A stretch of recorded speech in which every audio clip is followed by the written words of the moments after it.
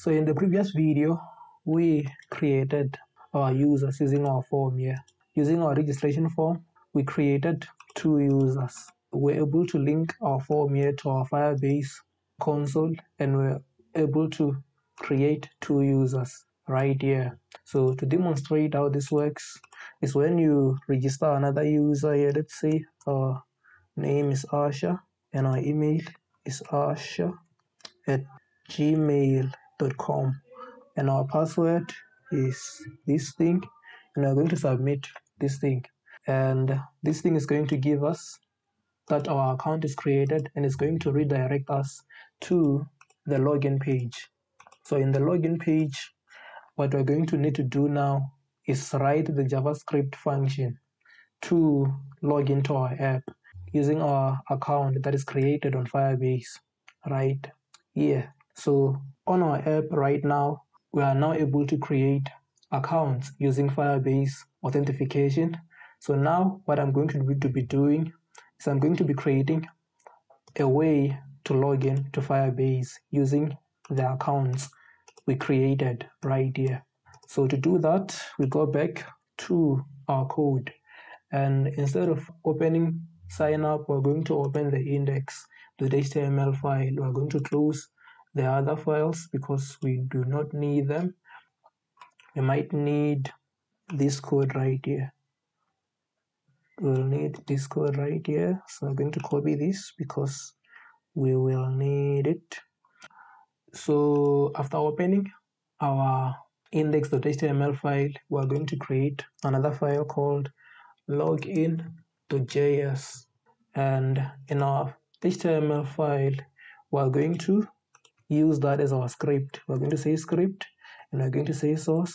It's going to be login.js and the type is going to be module which will allow us to use imported functions in our javascript. So we're going to defer this so that it loads after everything is loaded and we're going to paste this function here. This function what it basically does is it imports firebase initialize app from Firebase and it imports get auth. But this time, we're not going to be using this function here. Create user with password, we're not going to be using this one. We're going to be using another function, which is sign in user with email and password. That's the function that we're going to be using this time. So let's go back to our Firebase documentation. Firebase documentation. And what we're going to need to do, so we're going to need to import this function here. We're going to need to import this function here from firebase get auth that's where we import that function from and we're going to be using this function here to sign in our user. Be using this function here to sign in our user. So in here we're going to do the same thing we did on the other video we're going to do the same thing we did on the other video which is grab the input fields and the login button. So the first thing we'll do is grab the login button which will be const. Let's say login is going to be document but get element by id get element by id and our id i believe is login. Then we're going to save that one. And then we're going to take the button which is login. Then we're going to add an event listener to it the event listener is going to be click. That's the event we're listening for and once that button is clicked we're going to run this function right here. We're going to run this function here. Whenever this button is clicked we're going to run this function here to test if it works. Let's say alert 5 then I'm going to click on login and then boom. Our javascript is connected successfully so we're going to erase this and we're going to copy this function. We're going to cut it and we're going to paste it within our function.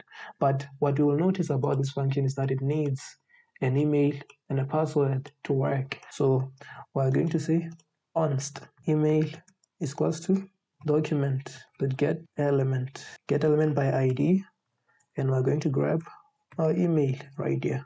And we're going to say const password is going to be document that gets element by id and our id is word just to confirm let's look at our input form here. Our ID's email and its password and its login.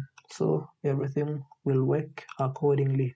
So another trap that I fall into frequently is to grab the input fields themselves but we don't need the input fields. We need the, the value that is within them so we're going to add value here dot value.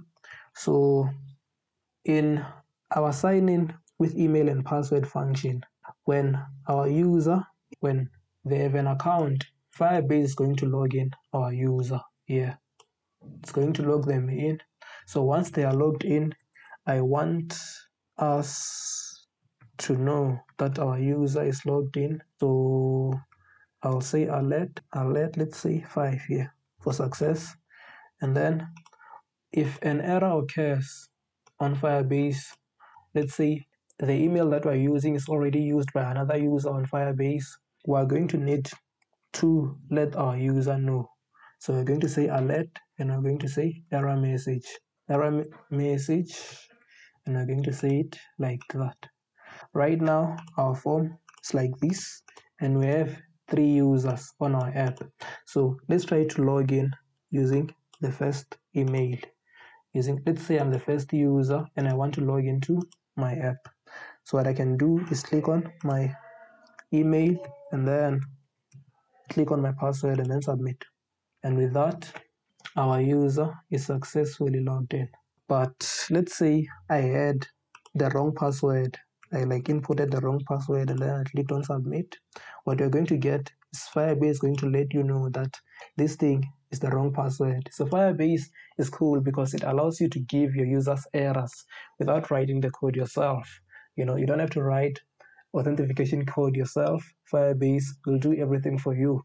So it is cool in that way. So since our we can log in using users using our user email and password what we're going to need to do is redirect our user to we're going to redirect our user to our dashboard which is our app. Let's say dashboard.html once our user is signed in we're going to need to but once they are signed in we're going to redirect them to our dashboard file there. If I click on here and click on my correct password this time and click on submit. What it's going to do mm, let's see don't save. Let me input user. So once our user is logged in it's going to redirect us to our dashboard. So in the next video we're going to be creating our dashboard here. So everything that's here we're going to be creating in the next video we're going to be creating our dashboard. Right now our dashboard is empty but in the next video we're going to be creating all of this.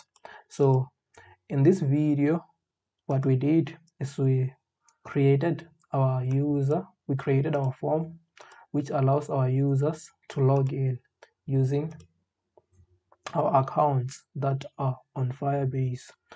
So in the next video we're going to be using a firebase database to store our tasks here so that when we log in with our details we're able to put our files here. Thanks for watching. See you in the next one